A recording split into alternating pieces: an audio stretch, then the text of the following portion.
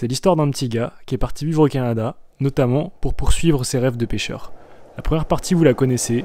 Maintenant, on va parler de pêche.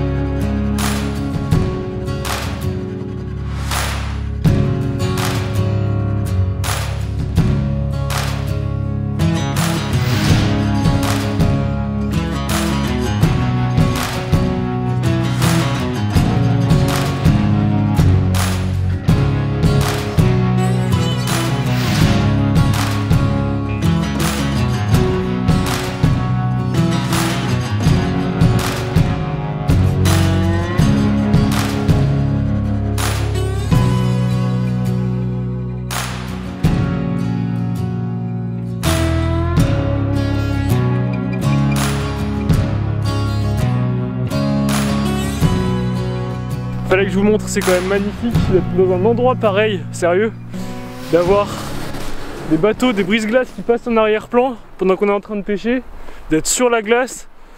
Le froid, je peux vous le dire qu'on le ressent même pas quand on voit des paysages comme ça, c'est vraiment magnifique et c'est là que je vois la chance que j'ai d'être là. Franchement,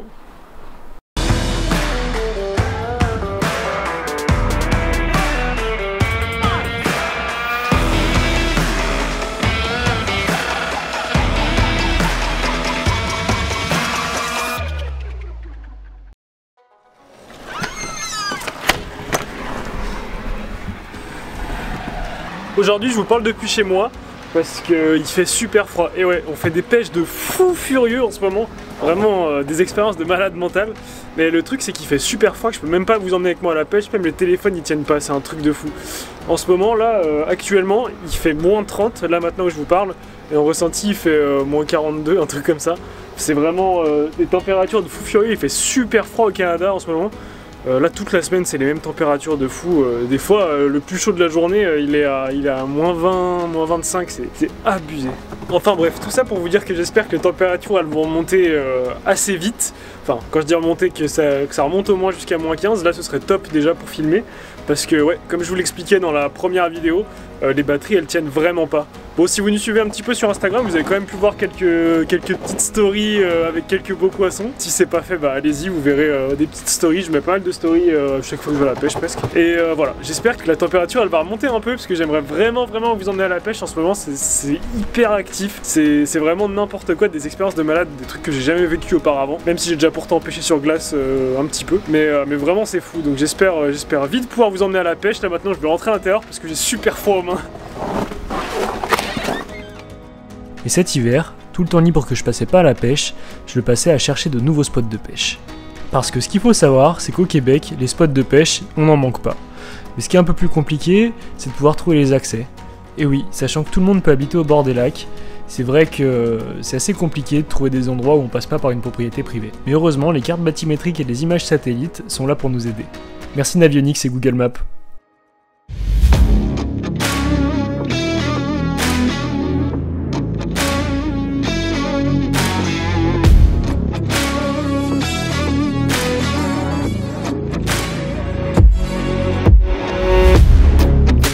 Hey salut à tous, aujourd'hui on se retrouve pour euh, ce deuxième épisode de My Canadian Journey. Et pour bien commencer cette vidéo, euh, bah là aujourd'hui il neige mais il fait enfin pas trop froid, il fait environ moins 17 donc euh, on va pouvoir tourner aujourd'hui, c'est plutôt une bonne chose, enfin du moins j'espère, s'il si, fait pas plus froid on va pouvoir tourner. Bref, là aujourd'hui il neige et on part tout de suite en direction d'un lac à brochet, allez on y va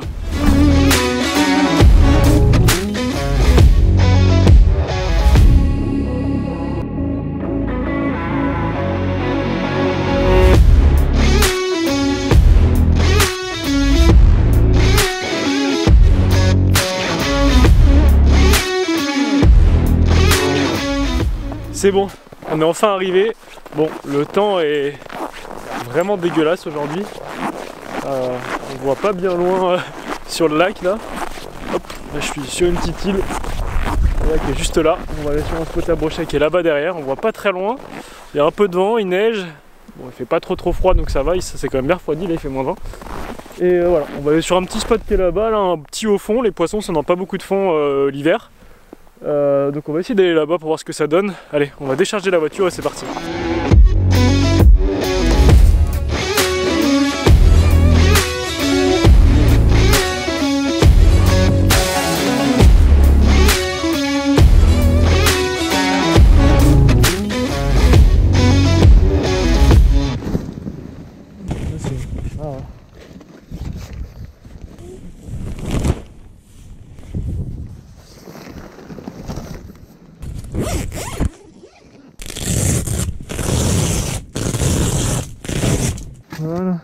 Savoir, c'est que cette journée-là, on pêchait sur un lac de barrage. Et sur un lac de barrage, la glace, elle est assez particulière. Avec les mouvements d'eau du barrage, ça rend la glace un peu bizarre. Et je peux vous dire que ce jour-là, j'en ai vraiment bavé pour percer mes trous. C'est bon, là on vient de finir d'installer la tente pour, euh, pour pas avoir trop de neige vu qu'il vu qu'il neige, pour être tranquille à l'abri. Et maintenant, euh, là en fait on est sur un au fond entre deux îles, là il y a une île et là il y a une autre île. Et en fin de compte, du coup, je vais percer des trous là tout le long en ligne, dans différentes profondeurs. Du coup, il n'y a pas beaucoup de fond. hein, euh, il y a genre 1 mètre et 60 cm un peu plus loin, là ça fait un joli au fond. Et autour il y a vraiment beaucoup de fond et les poissons là ils risquent de passer entre, entre cette anse là et le reste du lac. Donc voilà, on va percer euh, nos trous là en ligne et euh, on va essayer de faire du poisson comme d'hab avec les brimbales là, les petits, les petits trucs verts euh, que je vous ai déjà présenté dans la vidéo d'avant là, avec des éperlants. On va faire ça et puis après en attendant les touches, bah, on pêchera la perche comme d'habitude. Et là il y a beaucoup beaucoup de glace. Les trous ils sont pas faciles à faire donc euh, j'ai peut-être pas prospecté comme la dernière fois en faisant euh, 50 trous partout. On verra bien. Allez c'est parti. Je vais placer ça maintenant. Allez, là je vais mettre le sondeur histoire de voir s'il y a des petites perches en dessous. Et après, on ira percer tous les trous pour mettre les bravales. J'ai vraiment pas envie, mais bon, tout ce qu'il faut pour faire du poisson. Donc là, sur les sondeurs de pêche sur glace, il y a un, petit bout de flotteur là pour faire flotter la sonde. Et les sondes, ressemblent à ça. C'est des sondes cloches. C'est vraiment pour pêcher juste en dessous de nous. On voit en angle de 26 degrés autour. Et je règle en fonction du fond, parce que là c'est un peu particulier. Du coup, il y a des couches de glace, des couches de neige, des couches de glace, des couches de neige. Il y a des couches d'eau aussi. Et moi, je veux voir l'eau du fond.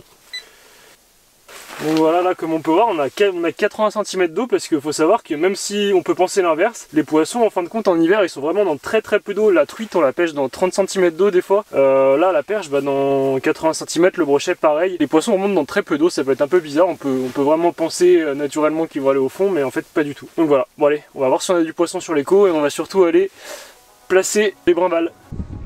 Hop, allez c'est parti. Et on va aller percer des trous. On va faire un là déjà.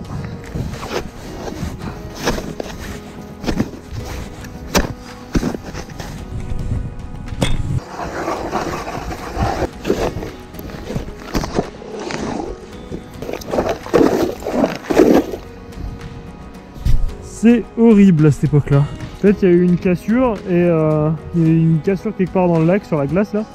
Et, euh, l'eau avec la pression, elle est remontée partout sur le lac. C'est aussi du fait que c'est un lac de barrage. Et du coup, c'est pour ça qu'on a ces couches d'eau, ces couches de glace, ces couches d'eau, ces couches de glace. C'est vraiment horrible pour percer des trous. Vivement que j'ai euh, une perrière électrique pour percer euh, comme il faut sans, sans me tuer à chaque fois. Allez.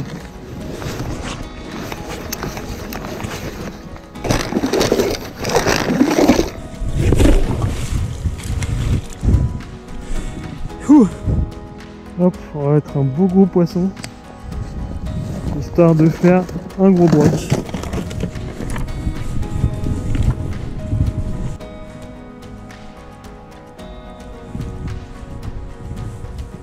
Parfait.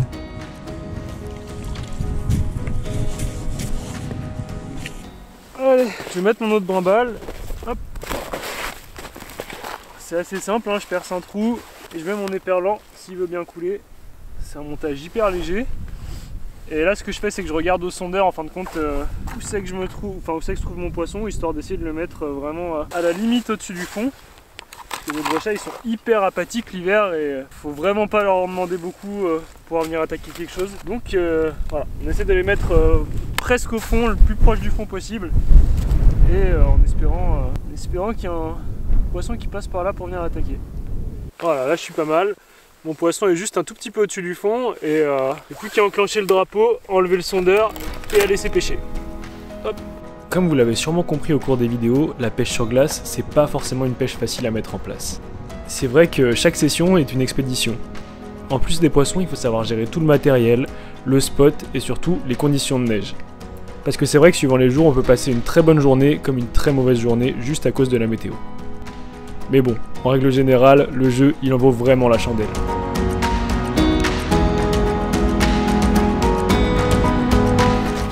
Bon, ça y est, toutes les brimbales sont posées. Maintenant, il n'y a plus qu'à attendre euh, le premier poisson. Voilà, j'en ai une juste là d'ailleurs. Et puis en attendant, je pense qu'on va, aller un peu plus euh, au milieu de la baie là, histoire de pouvoir pêcher un peu la perche en attendant, histoire d'avoir un peu d'action. Et puis euh, on va aller pêcher la perche juste là-bas. Allez, c'est parti.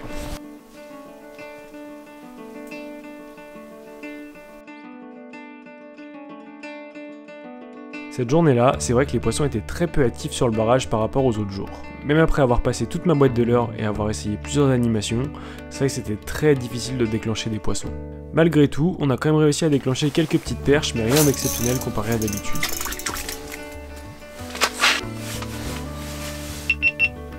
Ah la petite perche, allez, on va la relâcher, je crois qu'il y a ses cousines en dessous. Hop Les heures passaient et la session de pêche touchait bientôt à sa fin. J'ai donc décidé de braver le froid et d'aller pêcher une petite fosse que je connaissais pas très loin de ma tente. Voilà. Viens ici pour me dire que j'ai pas percé ce trou pour rien, s'il te plaît.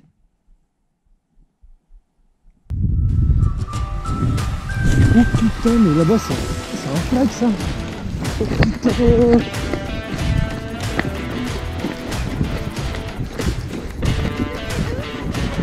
Putain. Oh.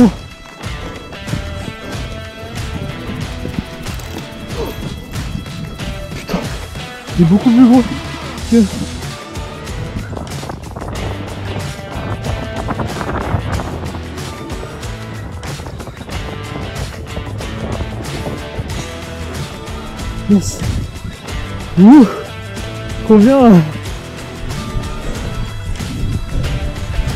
Il y en a un autre là-bas par contre. Falloir qu'on fasse vite. Yes, ça fait vraiment plaisir. Ouh Au petit pike, c'est pas gros ça. Joli poisson.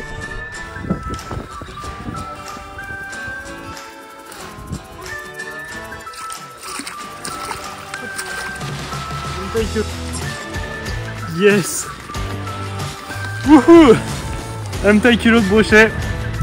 Ça fait bien bien plaisir. Beau pike. Allez. Yes, joli petit pike. Allez, on vise ça. Coco. Bon, encore une session bien mouvementée pour la fin là. Déjà, toutes les, toutes les batteries de caméra sont mortes, changer d'habitude bien sûr. J'étais en train de pêcher là-bas, j'avais fait un dernier trou avant de partir, parce qu'on n'avait pas beaucoup de temps de pêche aujourd'hui euh, devant nous. Et euh, j'étais allé faire un dernier trou là-bas pour tester dans une fosse, euh, voir s'il y avait pas moyen de faire de la perche. Et en fin de compte, au, moment, au moment où j'ai commencé à pêcher, les deux drapeaux de là-bas sont levés presque simultanément. Je suis allé à la course pour aller piquer les poissons, et puis au final, deux jolies pikes quand même, donc ça fait bien plaisir c'était vraiment vraiment dur aujourd'hui, mais au final on a bien fini, donc c'est, je suis super content quand même. C'est vraiment cool. Maintenant il nous reste plus qu'à démonter la tente. Et puis malheureusement c'est déjà l'heure d'entrer. Allez, je vais démonter la tente et puis après on rentre. Bon, la pêche sur glace en eau douce, c'est vrai que vous commencez à connaître grâce aux vidéos. Mais c'est vrai qu'il y a quelque chose d'autre que je voulais vraiment vous montrer. C'est la pêche sur glace sur un fjord. Donc plus précisément, la pêche sur glace en mer. C'est vrai que c'est complètement autre chose c'est complètement un autre délire. Malheureusement, même si j'ai fait énormément de sessions en mer cette année, c'est vrai que le fjord a été très très dur avec moi. Entre les froids extrêmes, les vents extrêmes et tout simplement les météos extrêmes, c'est vrai que j'ai pas été gâté. Et donc comme vous l'imaginez, pour filmer, quand on a des météos extrêmes, c'est vraiment pas le plus facile. Bon, aujourd'hui c'est une session de merde, on a vraiment fait très peu de poissons et visiblement euh, ils sont pas prêts à mordre. Et là je sais pas si vous pouvez voir dans la tente, mais il y a extrêmement de vent. Ça va être quelque chose pour la démonter la tente parce que dehors, il y, a vraiment du vent.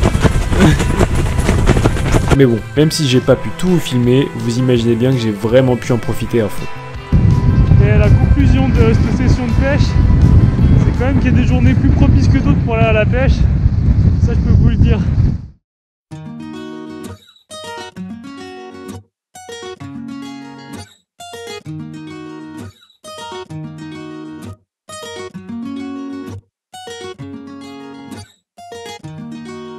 Salut à tous, là il est 6h du matin, il fait super froid dehors. Euh, J'ai hâte d'aller à la pêche, donc je finis vite de me préparer, je mets ma combinaison et on est parti.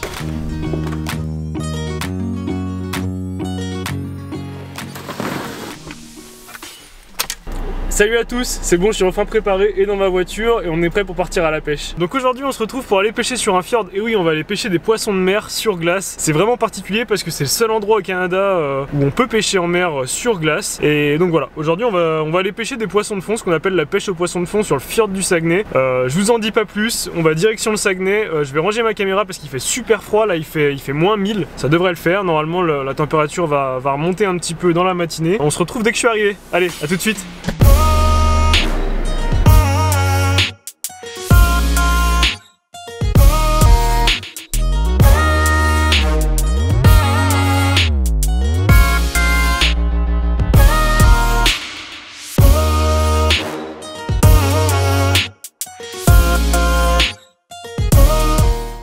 Bon, ça y est, je viens d'arriver. Euh, il fait encore plus froid que tout à l'heure. Il fait moins 34 maintenant. Euh, mais je suis vraiment content parce qu'il y a un soleil de ouf. Il fait, super beau et euh, il n'y a personne en fait aujourd'hui. Donc ça change d'habitude. Je suis vraiment content. Vu qu'il fait super froid, je vais pas vous filmer mon arrivée sur la glace. Je vais ranger les caméras dans une glacière avec des packs de chaud pour être sûr que les batteries restent au chaud. Et je filmerai à partir du moment où je serai dans la tente sur la glace. Bon, j'ai vraiment hâte d'y aller maintenant. Je vais vous laisser. On se retrouve sur la glace. Allez, à tout de suite. Bon, c'est vrai que depuis tout à l'heure, je vous parle de fjord. Mais est-ce que vous savez vraiment ce que c'est qu'un fjord? Pour vous expliquer rapidement et simplement, par définition, un fjord, c'est une ancienne vallée glaciaire envahie par les eaux marines. Pour ce qui est du fjord du Saguenay, c'est le seul fjord au Québec. Il a été creusé par le passage des glaciers il y a plusieurs milliers d'années. Il est classé parmi les plus longs fjords du monde, avec ses 105 km et ses 275 mètres de profondeur. Bordé par des forêts de résineux et des parois rocheuses vertigineuses, le fjord réserve pas mal de paysages à couper le souffle. Et côté pêche, c'est vrai que dans le fjord, on trouve pas mal d'espèces de poissons à toutes les profondeurs. Des truites de mer et des saumons en migration, plusieurs espèces de moris et de flétans, des sébastes, des bareillés et j'en passe. Bref, c'est un vrai spot de rêve pour la pêche. Et en plus de tout ça, comme je vous l'ai déjà expliqué, c'est le seul endroit au Québec où on peut pêcher sur glace en mer. Et le petit truc assez cool, c'est que chaque hiver, des villages de plusieurs milliers de cabanes de pêche sont créés sur la glace. Et en vrai, on est d'accord, c'est quand même plutôt stylé. Ça y est, j'ai bien marché, je viens de tout là-bas. Et je suis enfin arrivé sur la glace, je suis vraiment content, là j'ai monté la tente. D'habitude on est à deux, là je suis tout seul. C'était vraiment pas facile pour monter la tente. Euh, j'ai déjà mis le sondeur, il y a des poissons au fond, on va pas tarder à se mettre à pêcher, mais bon, fallait que je vous montre, c'est quand même magnifique d'être dans un endroit pareil, sérieux, d'avoir des bateaux, des brise-glaces qui passent en arrière-plan pendant qu'on est en train de pêcher, d'être sur la glace. Le froid, je peux vous le dire qu'on le ressent même pas quand on voit des paysages comme ça, c'est vraiment magnifique et c'est là que je vois la chance que j'ai d'être là. Franchement, c'est vraiment top. Bon allez, on va pas parler plus longtemps. On va rentrer dans la tente, se mettre un petit peu au chaud parce qu'il fait quand même froid. Et on va enfin se mettre à pêcher maintenant. Allez. Allez hop, même s'il fait froid dehors, on est au chaud dans la tente. Maintenant, il est temps de se mettre ficher. Et on va commencer finesse, histoire de voir s'il y a des poissons réceptifs.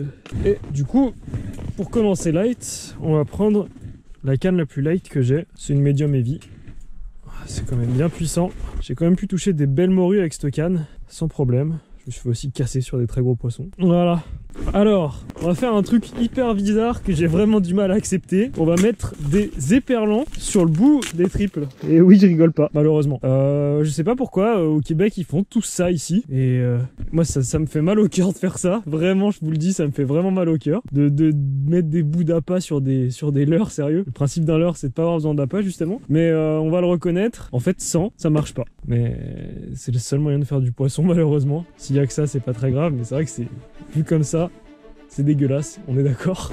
Allez, hop Dans le trou. Et au fond.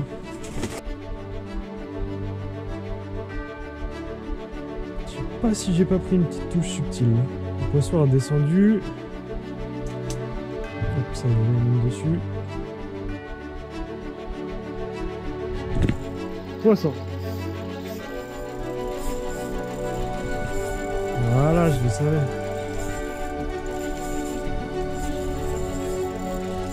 C'est vraiment pas gros d'ailleurs.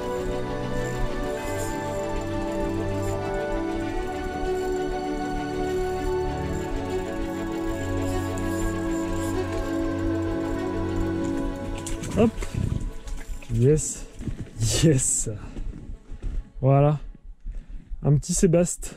Hop, voilà. Joli sébaste, qu'on aime bien quand on n'arrive pas à faire des morues, quand, les morues sont pas actives. Voilà, c'est des poissons qui se prennent euh, assez facilement. Donc faut que je vous raconte un truc en fait. Ces poissons-là, dans la politique locale, on est pratiquement obligé de les garder en fait, parce qu'on pêche dans 40 mètres de fond et forcément, ceux qui le savent, qui pêchent le centre par exemple, quand on pêche dans beaucoup de fond, euh, il y a des gros soucis avec euh, la décompression des poissons et la vessie natatoire qui sort par la bouche. Et la politique locale nous demande du coup de, de, garder 5 poissons de fond par jour quand on va à la pêche. Donc en fin de compte, voilà, on a un quota de 5. C'est vrai qu'il y a énormément de poissons ici et tout le monde garde ses poissons parce que parce que bah on n'a pas le choix tout simplement. On va pas remettre à l'eau un poisson qui a une vessie natatoire qui sort parce qu'il y a de grandes chances qu'il s'en remette pas forcément. Donc voilà, c'est pas quelque chose que j'ai l'habitude de faire, de, garder des poissons. Mais à un moment donné, c'est vrai que ça sert à rien de les remettre à l'eau s'ils vont mourir tout simplement. Et euh, au début de l'année, j'ai beaucoup pêché le fjord parce que je pouvais me permettre de pêcher dans 8 mètres, 10 mètres d'eau parce que les morues étaient dans ces hauteurs de là. Donc là, dans ces cas-là, on pouvait remettre les poissons à l'eau. Et c'est vrai que maintenant, j'y vais quand même un petit peu de moins en moins. Plus la saison avance, plus les poissons vont un peu plus de fond. Et donc voilà. Donc dans tous les cas, euh,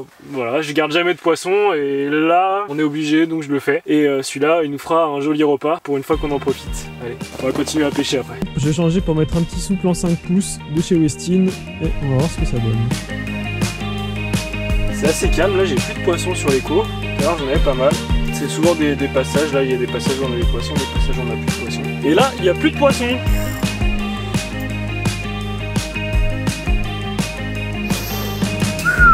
C'est pas chaud hein il ne fait pas chaud.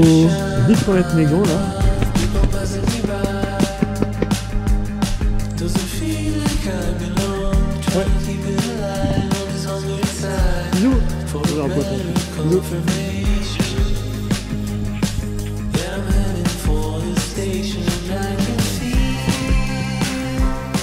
Voilà, un tout petit fiche. Bon, celui-là, malheureusement, j'ai pris par la queue. Attends, j'ai bien senti la touche.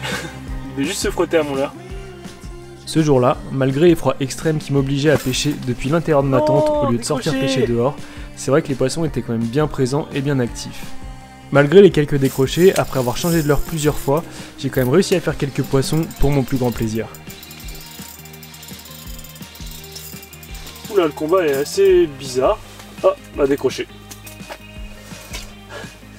Donc c'est vrai que la pêche au sondeur c'est assez particulier, c'est quand même franchement marrant et il faut se dire que là sans sondeur, dans des immensités pareilles, on serait pas capable de faire un poisson dans autant de fond que ça en plus. Bon c'est pas parce qu'on a des poissons au sondeur qu'on les prend, hein, ça vous le savez tous. En tout cas de jouer avec des poissons euh, et de les voir, les voir interagir avec le leur euh, sous l'eau, c'est quand euh, c'est quand même vraiment vraiment cool. C'est vraiment assez intéressant.